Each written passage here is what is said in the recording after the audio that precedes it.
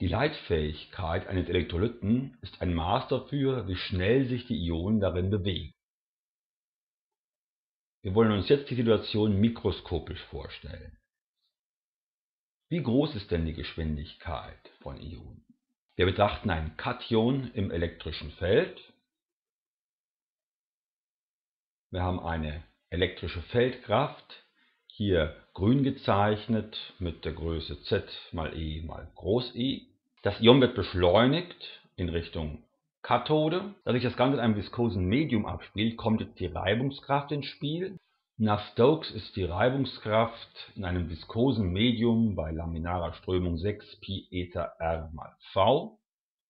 Nach kurzer Zeit stellt sich Gleichgewicht zwischen den beiden Kräften ein und wir haben eine konstante Driftgeschwindigkeit v.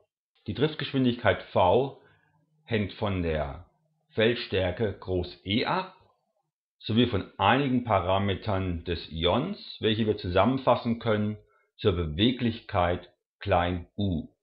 Diese Beweglichkeit u, die uns sagt, wie schnell sich ein Ion im elektrischen Feld E bewegt, ist nichts anderes als die entsprechende Ionenleitfähigkeit Lambda dividiert durch die Faraday-Konstante das gilt für Kationen wie für Anionen. Erwartungsgemäß haben auch bei der Beweglichkeit die Protonen und die Hydroxidionen eine Sonderstellung.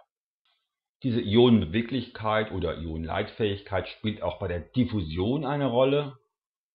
Diffusionskoeffizient d ist proportional der Ionenleitfähigkeit Lambda. Da die Beweglichkeit von Kationen und Anionen in der Regel unterschiedlich sind, messen wir bei Diffusionsexperimenten einen mittleren Koeffizienten. Ionenbeweglichkeiten können experimentell aus Geschwindigkeitsmessungen ermittelt werden. Man benötigt in der Regel gefärbte Ionen, deren Wanderungsgeschwindigkeit im elektrischen Feld vermessen wird.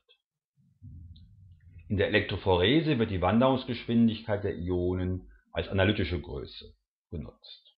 Ionen in einem Elektrolyten bewegen sich in einem elektrischen Feld mit konstanter Driftgeschwindigkeit. Die elektrische Feldkraft, die auf die Ionen wirkt, ist genauso groß wie die rücktreibende Reibungskraft. Die Proportionalitätskonstante zwischen Driftgeschwindigkeit und Feldstärke nennt sich Beweglichkeit U. Aus der Beweglichkeit können hydrodynamische Radien ermittelt werden